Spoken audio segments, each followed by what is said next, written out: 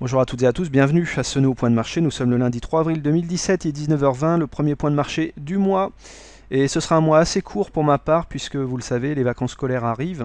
J'ai animé avec beaucoup de passion tous ces points de marché, au moins depuis Noël, sans aucune interruption. Donc ça va bientôt faire quand même 4 euh, mois que j'anime sans tous les jours, sans un seul repos. Donc permettez-moi, eh bien, euh, après ce travail réalisé, de profiter un peu de ma famille. Donc je vais tout couper voilà, pour revenir en pleine forme, c'est important aussi. Donc euh, le mercredi prochain, mercredi qui vient là, eh bien ce sera le dernier point de marché, mercredi de cette semaine.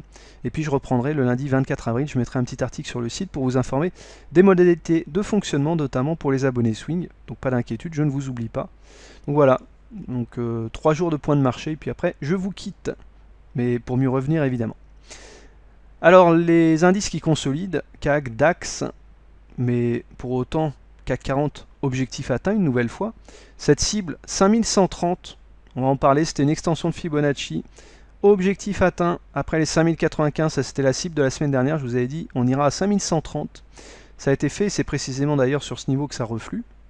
Donc on va regarder à quoi il correspond.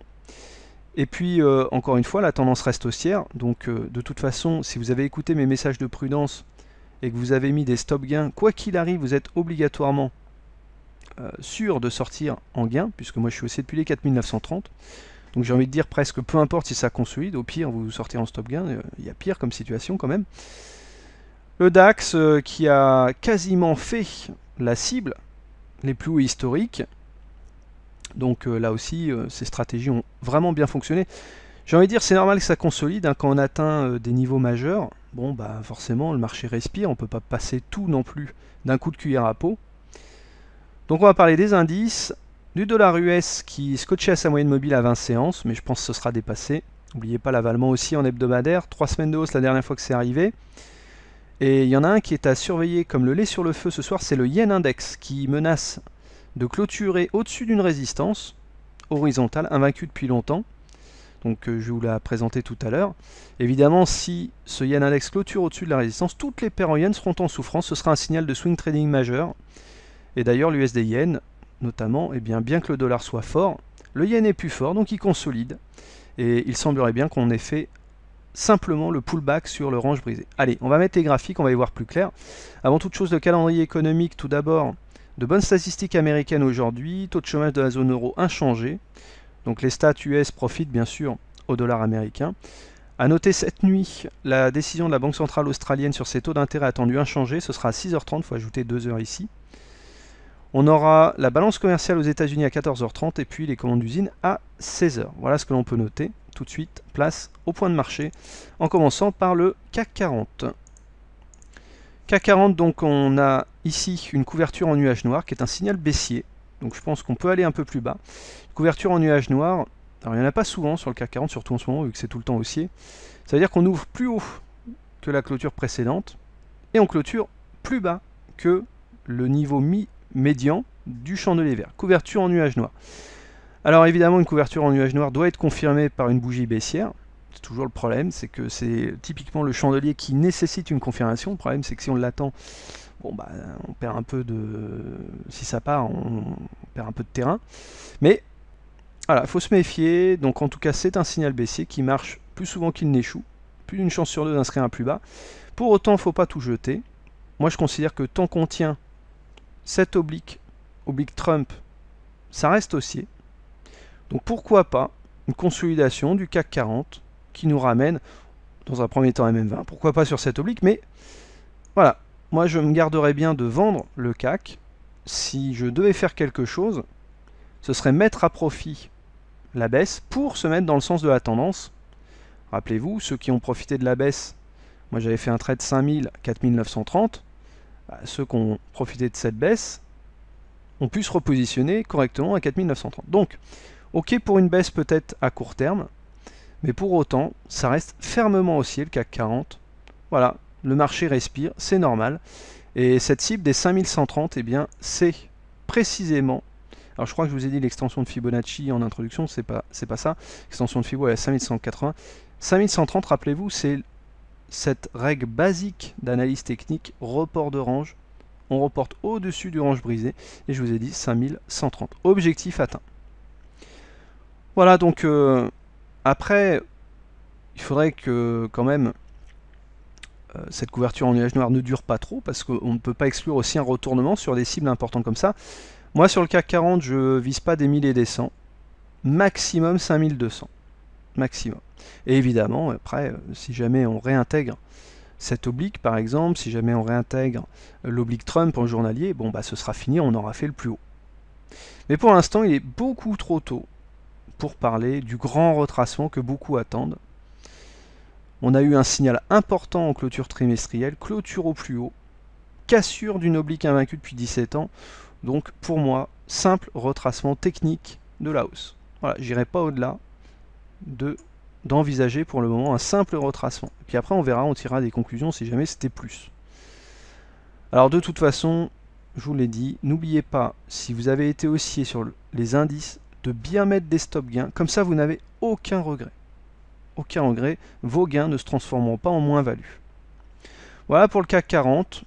Donc support, premier support que je vois, MM20. Ici, 5020. Par extension ici, 4975. Et puis en résistance, bah, les 5130 forcément, qu'il faut dépasser. Ce repli sur le CAC 40 correspond aussi au repli du DAX, que je vais vous montrer tout de suite. Le DAX, je vous ai proposé comme cible les plus hauts historiques du DAX à 12 390. Franchement, regardez le plus haut qui a été fait. 12 375. Donc moi je suis content. Alors certes on n'a pas fait 12 390 mais je pense qu'il ne faut pas pousser le trait non plus. Moi je considère que les plus historiques ont été faits. On n'est pas, euh, surtout sur le DAX, on n'est quand même peut-être pas à 15 points près. Donc voilà, c'est, euh, ça reste toujours haussier bien sûr. Hein. On va regarder en journalier. Bon, là aussi, chandelier pas terrible, mais voilà, on est au-dessus du MM20. Pour moi, c'est un retracement. Et tiens, je ne vous ai pas proposé les indicateurs techniques du CAC. Voilà, on sort de la zone de surachat.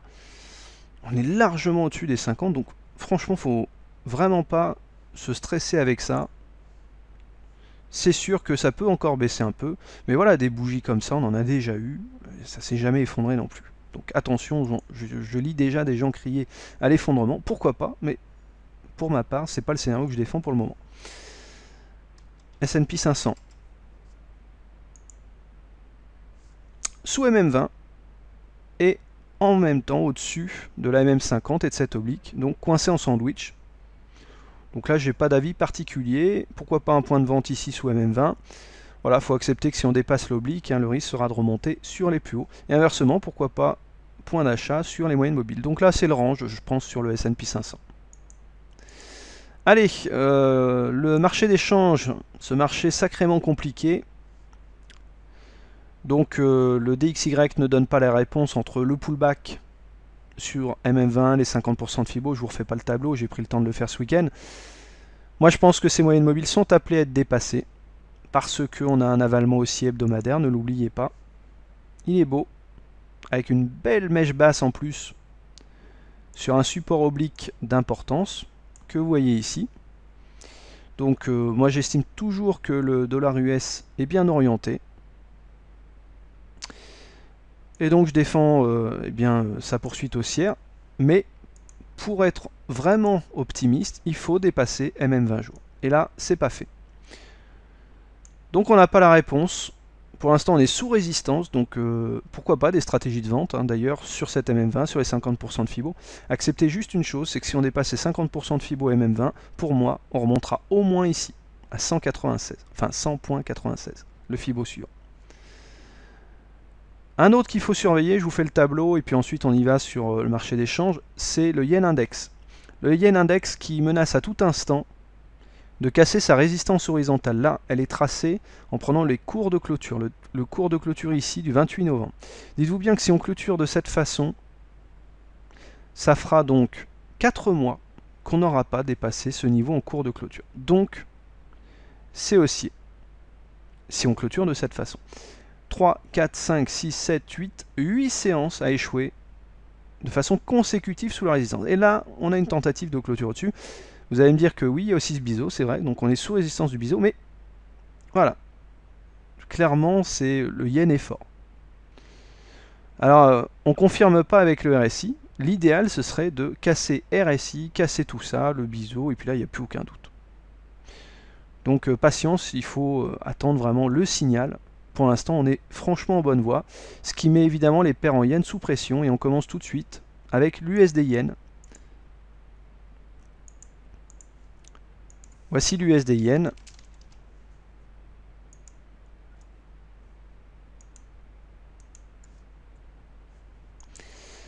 Alors l'USD Yen donc euh, se range ici, un cours qui évolue sous MM20, sous MM50, donc c'est baissier jusqu'à preuve du contraire.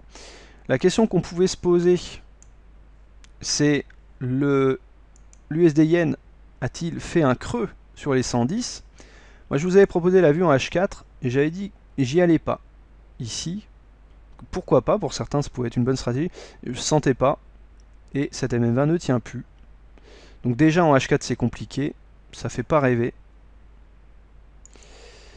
Donc euh, moi je considère que pour l'instant, jusqu'à preuve du contraire, on est sur un pullback qui a été fait sur le haut de ce range, que ce niveau ici, la zone des 112, est un bon niveau de vente. On est 100 pips en dessous, donc euh, pour l'instant il n'y a pas de timing, parce que 100 pips, plus de 100 pips de stop du coup, il faudrait mettre le stop au-dessus du plus haut qui est quand même à 112,20, donc là ça fait 120 pips, pour viser au mieux dans un premier temps 110,11. Donc en termes, ça fait même pas 90 pips de gain, en termes de ratio gain c'est pas bon. Voilà, bravo à ceux qui ont anticipé et qui se sont lancés hein, en disant bon c'est le pullback, ça y est, c'est le point de vente. Pour autant c'est pas gagné non plus. il faut que le yen confirme. Si le yen donne un signal de force, bon bah derrière l'USD yen, le risque c'est de retomber ici. 108,55. Mais on peut aussi avoir le dollar US, avec son avalement aussi, qui, monte. Donc, si le dollar US monte et que le yen monte, vous mettez en opposition deux devises fortes l'une contre l'autre, et ça peut aussi donner un simple range compris entre 112 et 110. Donc, euh, traduisez par ça, toujours pas la réponse. Il faut que le yen donne son signal. Et pour que l'USD yen tombe, bah, il faudrait que le dollar US ne confirme pas son avalement haussier, parce qu'un avalement haussier, finalement, ça doit être aussi confirmé. Donc l'USD Yen, pour l'instant, jusqu'à preuve du contraire, c'est le range entre 112 et 110, avec bien sûr le risque baissier, puisqu'on évolue sous les moyennes mobiles et des indicateurs bien dégradés. L'euro-dollar. Intéressant. Mais pour autant, toujours pas de réponse. Alors qu'est-ce qui est intéressant, vous allez me dire, euh, en journalier, pas grand-chose. Mais, moi je vous ai proposé ceci, rappelez-vous en H4, cette oblique.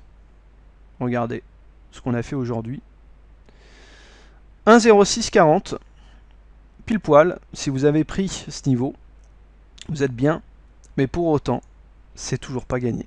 Parce qu'il n'y a pas de signal haussier, pas de signal haussier, pardon, sous MM20, baissière, c'est juste un rebond sur un support. Donc là aussi, c'est vraiment léger. En intraday, ça se fait. Le problème, c'est que moi, je propose pas de stratégie intraday. C'est pour ça que j'y suis pas allé. Il faut des signaux positifs. Au moins reprendre MM20, quelque chose. Vous voyez que les indicateurs sont quand même bien dégradés. Commence à se passer des choses sur l'euro-dollar. Des divergences apparaissent sur support, c'est toujours intéressant de les signaler. Elles sont là, ces divergences haussières pourquoi pas? Pourquoi pas? Le MACD qui croise son signal, pourquoi pas? Pourquoi pas le point bas fait sur l'euro? J'ai quand même du mal à y croire parce que le dollar euh, propose un avalement haussier. La chose peut être assez simple en fait sur l'euro-dollar. Si vous avez pris ce support oblique, acceptez juste que si on l'enfonce, c'est fini. C'est fini, le risque sera de retomber autour des 1,05, le point bas justement, qui a permis de tracer cette oblique. Voilà, éventuellement. Alors dans un premier temps, on va aller 1,05, il y aura les 1,06, hein, ce support ici. Donc voilà, si vous avez pris cette oblique, c'est l'oblique que je vous proposais, en dessous, le risque c'est de tomber plus bas forcément. C'est tout ce que je peux vous dire sur l'euro dollar. Le risque est quand même sacrément baissier, mais l'oblique en même temps tient.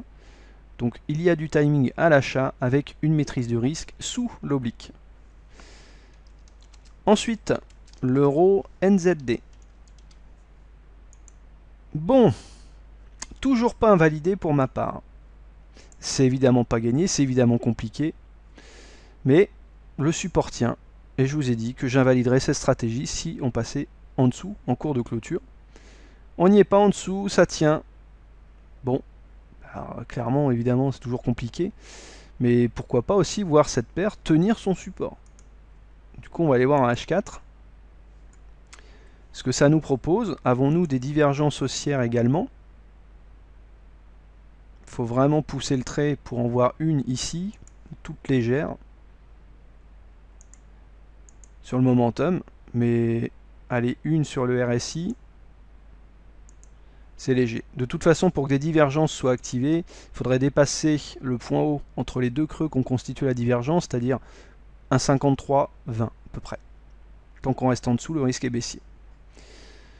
Donc voilà pour, euh, pour l'euro NZD. Donc c'est pas invalidé, c'est pas gagné. J'ai envie de dire balle au centre. Et donc je vais continuer de défendre quand même ma conviction de la hausse de cet actif, même si c'est compliqué. On va aller jusqu'au bout.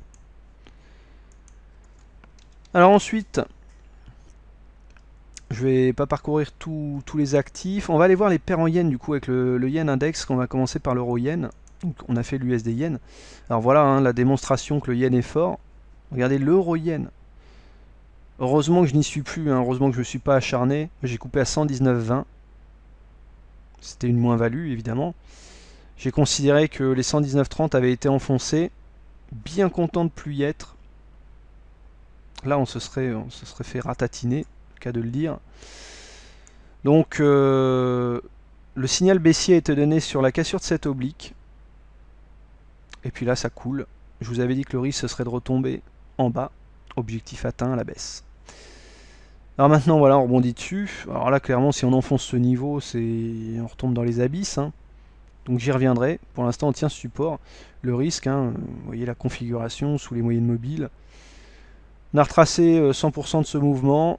Super train brisé, les serres baissiers, tout est baissier quoi. Donc là, c'est vraiment problématique sur l'euro yen. Surtout si le yen vient confirmer eh bien, la cassure de sa résistance horizontale. Euh, ce ne sera pas terrible. Tous les indicateurs techniques sont au fin fond des abysses. Donc euro yen, objectif atteint la baisse. Et je pense a, si le yen confirme, il y a encore du potentiel baissier. Donc déjà on voit l'USD yen sous pression, l'euro yen sous pression, le CAD yen sous pression. Heureusement que j'y suis plus, hein. là aussi. Hein. Rentrer à 83,80, soldé au même prix. N'a rien gagné, rien perdu. Vraiment, c'est quand j'ai vu le PIB canadien deux fois supérieur aux attentes, qui n'a rien donné à part une petite volatilité aussi intraday, je suis parti en me disant si ça, ça fait pas monter, euh, c'est que le marché ne veut pas monter. Bon, bah heureusement que j'y suis plus parce que là, c'était 100 pips de moins-value sinon. Donc, euh, Cadienne, baissier, c'est sous MM20. D'ailleurs, MM20 qui a fait barrage, on a précisément été la chercher. Le risque est de retomber dans un premier temps ici, 82,52, voire de casser ce support. Et encore une fois, si le yen confirme, on cassera le support. On y reviendra. Donc Cadienne sous pression, a eu des yens. Allez, on fait des paires en yens. Sous pression. Là aussi, je suis content parce que j'avais hésité à, y aller quand, quand on rebondissait sur support. Puis je sentais pas ce yen qui restait sous résistance qui était fort. Je suis pas allé. Alors autant on a fait un mois de mars compliqué, autant il y a quand même des pièges là qui ont été évités. Donc euh, même si ça donne pas de gain, au moins ça ne donne pas d'erreur cette fois. Donc euh, yens, c'est baissier toutes les paires en yens sont sous pression. Euh, qu'est-ce que je pourrais vous montrer d'autre? Le GBP yen. Alors je vous avais dit, lui, à surveiller. Et je vous avais surtout dit, attendre la confirmation de la possible cassure de cette résistance. Je vous avais dit, c'est tellement sous pression cette paire, il ne faut pas se précipiter parce que si on devait confirmer cette cassure, on aurait le temps d'y aller.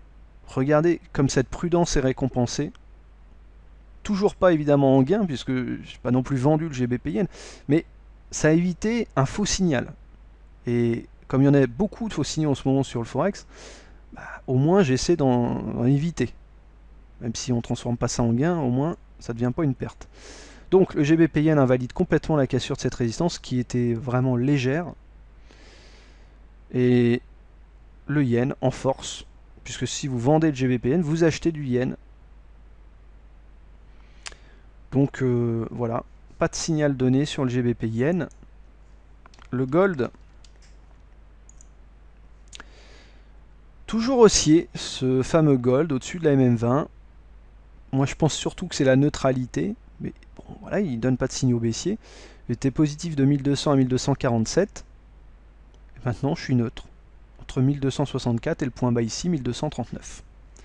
La neutralité pour le moment. Voilà ce que je pouvais vous proposer sur euh, les indices, sur le marché d'échange, donc euh, les indices qui consolident, qui peuvent éventuellement aller chercher euh, les tout premiers supports, moyenne mobile notamment sur le CAC 40. Marché d'échange toujours, toujours aussi difficile à décrypter, donc je m'en écarte pour le moment. Je n'ai que l'euro NZD que je suis, mais je n'ouvrirai pas d'autres positions tant que ce ne sera pas éclairci, pas d'autres stratégies je veux dire. Et puis, donc surveillez bien, et je vais terminer avec ce graphique du Yen Index. Je vous invite à surveiller cette clôture du Yen Index qui pourrait bien donner un signal de swing trading important puisque on n'a jamais dépassé en cours de clôture ce niveau depuis plusieurs mois et depuis le 24 novembre précisément. Merci pour votre attention, merci pour votre fidélité, très bonne soirée et bon trade.